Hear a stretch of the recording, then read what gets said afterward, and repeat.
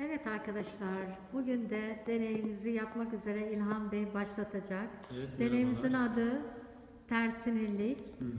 Hatırlayacak olursanız geçen haftaki dersimiz, pardon deneyimizin adı kırılma yasasıydı.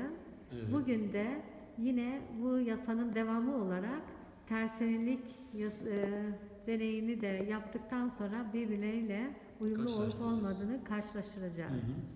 Evet yine arkadaşımız e, kullandığımız e, seti kısaca yine tanıtacaktır Evet. size.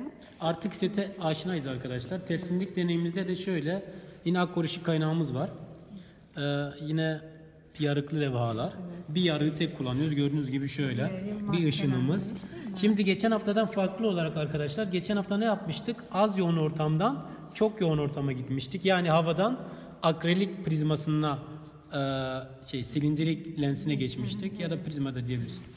E, bunu bu sefer çok yoğun ortamdan az yoğun ortama geçeceğiz. Ve burada kırılma yasasının geçerli olup olmadığına e, bakacağız. Bunun diğer adı da tersinilik arkadaşlar. Şimdi evet şöyle bir bakalım. İlk önce sıfırdan ne yapıyoruz? Yine normal. Normalden gelen ışın nasıl olacak? Tekrar normalden. Evet normalden hiç kırılmadan geçiyor dümdüz gördüğünüz gibi. Şu çizgiyi görüyorsunuz. Evet şimdi geçen hafta yaptığımıza bir bakalım. Şimdi geçen hafta az yoğun ortamdan çok yoğun ortama buradaki datalarımız var arkadaşlar. Şuradaki datalarımız direkt Eğer buraya hangi Evet.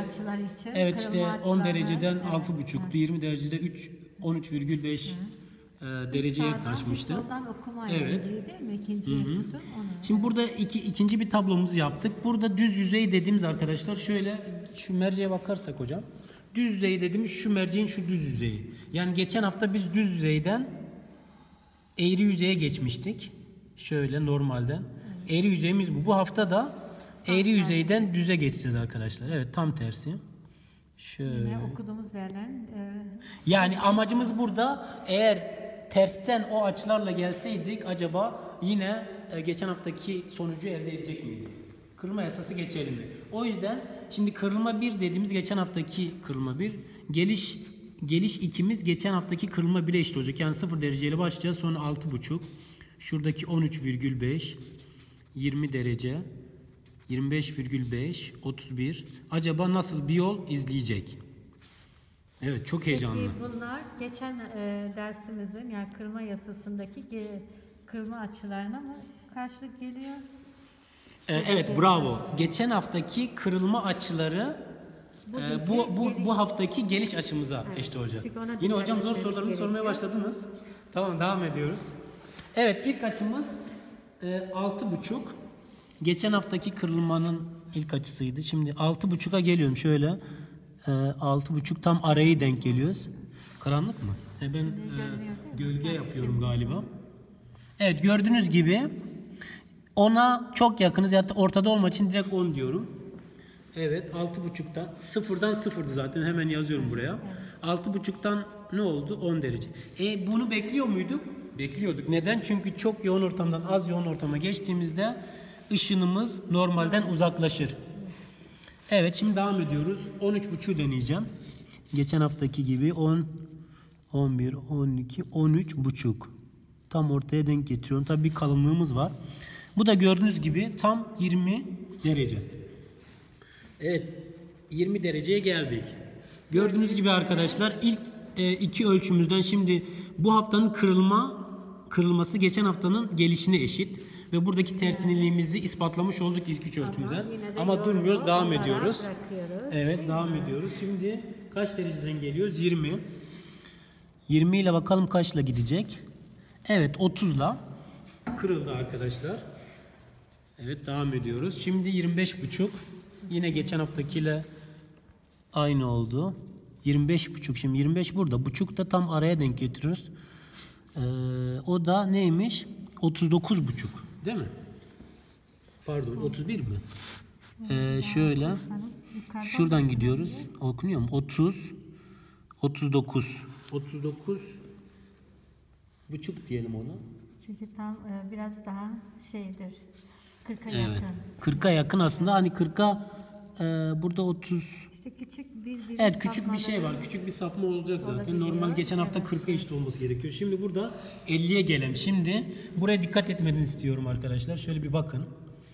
Burada heyecanlı bir şey olacak. Şimdi 50'ye geliyorum. Aa ne oldu hocam? Gördüğünüz Ee, gibi. hepsi yukarıya çıkıyor. Aşağıda bir şey kalmadı. Şöyle hem e, yavaş çekimle yapayım. Şimdi 40'taydık az önce. bugün Pardon, yaşam- kaçtaydık az önce? Ee, 50 21 yaptık mı? e, 31'e geldik değil mi? Ha, 30 ha, daha şey. Evet 25 buçuktu şimdi 31. Şimdi, evet biraz hızlı gittik. Şimdi 31'e geliyoruz. 31. 40'a geçmiyoruz daha. 31'de neymiş arkadaşlar? 49 yani 50'ye yakın. 49 buçuk mu alacağız? Evet 49 buçuk alalım. Hmm, Şimdi 35'e geliyoruz. 35. Az önce direkt 40'tan geçtiğimiz için bir şey oldu. Evet. 35'e bakıyoruz. O da nedir? Şimdi burada bir e, genişleme oluyor arkadaşlar. Bu da başka bir deney konusu. Ona girmeyeceğiz burada. 50 Bir sonraki deneyimizde yapacağız. Evet 57 buçuk mu? Şöyle iyice okursak. Hı? Şöyle Ee, daha. 50 58 diyebilir miyiz? 58 diyebiliriz evet. Tam Çünkü 58 iki derece. Şimdi sapmalar biraz başladı arkadaşlar. Burada tersinillik ilkemize baktığımızda. Şimdi 39.5'u deneyelim. 40'a çok yakın. Şöyle 39.5'ta kaç oluyormuş arkadaşlar? Şimdi burada evet 70 diyebiliriz burada. Tamam. Bu uydu. Ee, en son şeyimiz şimdi 41'i deneyeceğiz. 41.5. Bakalım 41.5'la gelen kaçla gidiyor? 41 buçuk. Şöyle 40. Birazcık daha. Evet yaklaşık şimdi burada görüyorsunuz renklerine ayrılıyor. Genişliyor ayrıca. Yani yaklaşık 78 diyelim. Biraz. Güneşte vurunca. Evet şimdi 41'in üstüne geliyoruz. Tabi burada 41'den direkt şeye gitmişiz arkadaşlar 90'a. Çünkü 90'la gelen 90'la gidiyor. 41'den 90'a. Şimdi 41'den sonra evet burada gördüğünüz gibi arkadaşlar e, buna biz tam iç yansıma diyoruz arkadaşlar. Bu diğer deneyimizde bunu inceleyeceğiz. E, 90'a gelirsek 90'a gelirsek ne oluyor arkadaşlar? Tam 90'a gelmedik daha. Evet 90'a gelince görüyorsunuz. Tamamen geçtiğini. Evet tamamen geçtiğini görüyoruz. O da 90 derece. Tabi şuradaki olay arkadaşlar bu önemli çünkü e, burada önemli bir yol oluyor. Tam inç yans- yansıma dediğimiz olay. bir kritik açı. Evet yani belli bir açıdan sonra çok yoğun ortamdan az yoğun ortama geçtiğinde artık kırılma olmuyor. Tam inç yansıma dediğimiz olay gerçekleşiyor. Bu çok önemli. Bu fiber optik e, iletişiminde bu temel bu kullanılıyor ve şu anda fiber internet kullanıyoruz ya. Bunun özü buradan geliyor. Yani ışığı gönderiyoruz. O fiber optiklerden dünyanın öbür ucuna ışık hızında yakın bir e, şeyle konuşuyoruz. Ve bu da e, bu fiziğin e, şu çok temel bir prensibinden doğmuş bir şey. Çok önemli. Bu arada hocam ben biraz susadım. Bir su içeyim. Şöyle. Su içmişken başka güzel bir olay gösteririz. Yine kırılma ile ilgili. Şu bardağa bir su doldurayım. Bu arada bardağımızın markası var hocam. Ona reklamını yapmayalım. Yok görünmüyor. Sorun Tamam. yok. Evet. Şimdi bu kalemi alıp bardağa koyalım. Bunu çok karşılaşmış olabilirsiniz evde ya da deneyebilirsiniz. Şöyle açılı bakarsanız hocam. Ee, şöyle tutayım. Gördüğünüz gibi kalem kırılmış. Halbuki kalemimiz böyle çıkardığımızda gayet düz bir kırıklık yok. Buradaki kırılma e, temel bu suyun içinden gelen e, ışık bize kırılarak geliyor ve biz de onun iz düşümünü görüyoruz. Onun da göz yanılması dediğimiz güzel bir olay oluyor burada. Son olarak da bu diğer bir uygulama da ya da günlük hayatta serap olayı. Bu çöllerde insanlar işte serap görüyor ya veya e, çok sıcak havalarda asfalt yüzeyinde yine serap tarzı bir şeyler görebiliyorsunuz. Oradaki temel prensip e, yüzeye yakın hava ısınıyor. Isınan havanın yoğunluğu azalır. Soğuk hava da yukarıda kalıyor. Yoğunluk fazla. oradaki az yoğun ortamdan çok yoğun ortama geçen ışık kırılıyor ve gözümüze serap gibi görüyor. Biz oradaki ağacı suda yansıyormuş gibi görüyoruz ve ya da oradaki gökyüzündeki maviliği su gibi görüyoruz ve serap olayı oluyor.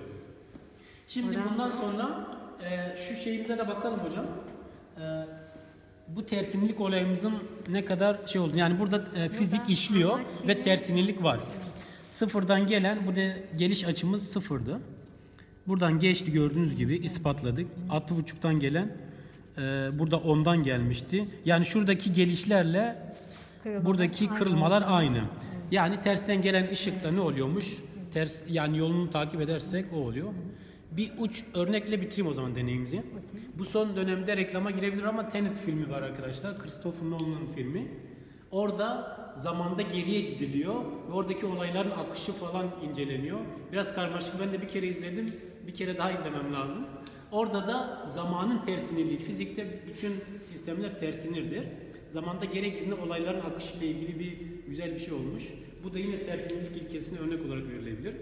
Böylelikle bu deneyimizi kapatıyoruz. Bir sonraki deneyde görüşürüz. İyi günler size. Hoşçakalın.